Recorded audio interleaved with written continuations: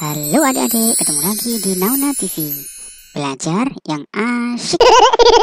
Mari belajar penjumlahan dua bilangan dengan menyimpan. Oh, terima kasih kak. Sebelum nonton, jangan lupa klik like, subscribe, dan bunyikan lonceng agar tidak ketinggalan pelajaran-pelajaran berikutnya. Kakak beri contoh dulu ya. Contohnya 25 ditambah dengan 17. 25 bisa kita tulis 20 ditambah 5 17 bisa kita tulis 10 ditambah 7 Kemudian kita jumlahkan ke bawah 20 tambah 10 30 5 tambah 7 sama dengan 12 12 bisa kita tulis 10 ditambah dengan 2 Maka kita tambahkan yang puluhan 30 ditambah dengan 10 hasilnya adalah 40 kemudian 2 tetap kita tulis 2 selanjutnya kita jumlahkan 40 tambah dengan 2 sama dengan 42 jadi 25 ditambah dengan 17 sama dengan 42 kita selesaikan soal nomor 1 sama dengan nomor 4 46 bisa kita tulis.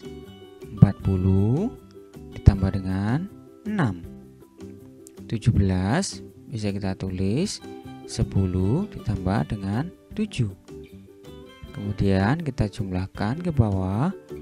40 ditambah dengan 10 sama dengan 50 6 ditambah dengan 7 sama dengan 13 50 tetap kita tulis di sini 50 13 bisa kita tulis 10 ditambah dengan 3 sekarang kita jumlahkan 50 ditambah dengan 10 sama dengan 60 3 tetap kita tulis 3 maka kita jumlahkan lagi sama dengan 63 jadi 46 ditambah dengan 17 sama dengan 63 soal yang nomor 2 kita punya 23 ditambah dengan 29 23 bisa kita tulis 20 ditambah 3 29 kita tulis 20 ditambah 9 kita jumlahkan ke bawah 20 tambah dengan 20 sama dengan 40 3 ditambah dengan 9 sama dengan 12 kemudian 40 tetap kita tulis 40 12 kita tulis 10 ditambah dengan 2 kemudian kita jumlahkan 40 ditambah dengan 10 sama dengan 50 2 tetap kita tulis 2 kita jumlahkan lagi 50 ditambah dengan 2 sama dengan 52 soal yang nomor 3 kita punya 19 kita tulis 10 ditambah dengan 9 46 kita tulis 40 ditambah dengan 6 kita jumlahkan ke bawah. 10 ditambah dengan 40 Iya benar. 50 9 ditambah dengan 6 sama dengan 15 Kita tulis 50 tetap di sini.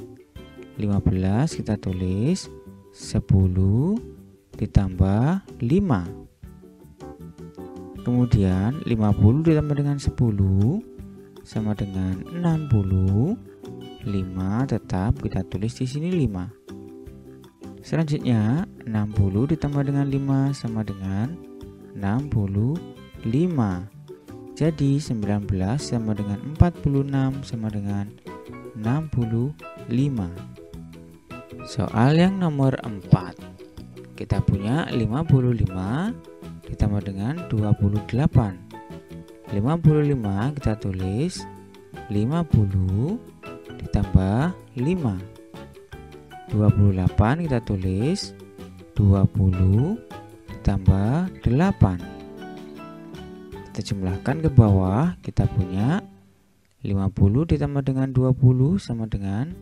70. 5 ditambah dengan 8 sama dengan 13. Di sini 70 tetap kita tulis 70. 13 kita tulis 10 ditambah 3. Maka 70 ditambah dengan 10 sama dengan 80. 3 tetap kita tulis 3 di sini. 80 ditambah dengan 3 sama dengan 83. Jadi 55 ditambah dengan 28 sama dengan 83.